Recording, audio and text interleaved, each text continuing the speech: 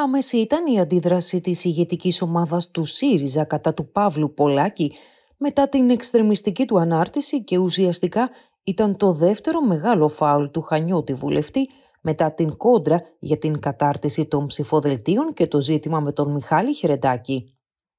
Η ανάρτηση του Παύλου Πολάκη είχε βολές προς πολλές κατευθύνσεις και ειδικότερα προς δημοσιογράφους και στελέχη τραπεζών και φορέων, αλλά το κυριότερο πήγαινε προς τον Αλέξη Τσίπρα, δηλώνοντάς του ουσιαστικά πρέπει να τους τελειώσεις και όχι να τους χαϊδεύεις για να μπορέσεις να κυβερνήσεις. Σύμφωνα με άτυπη ενημέρωση από την Κουμουνδούρου, ο ΣΥΡΙΖΑ έχει πρόγραμμα και πολιτική που έχουν εγκριθεί από το συνέδριό του.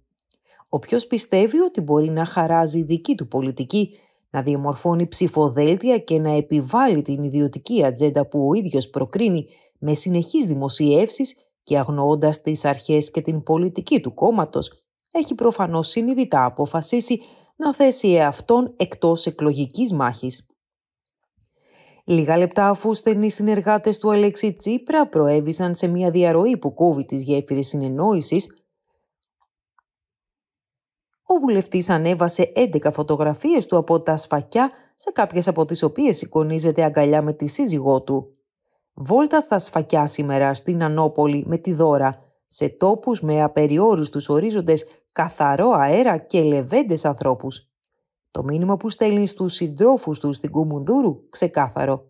Ο Παύλος Πολάκης υπενήσεται ότι δεν του φέρθηκαν όπως συμπεριφέρονται οι λεβέντες άνθρωποι και του περιορίζουν τους ορίζοντες.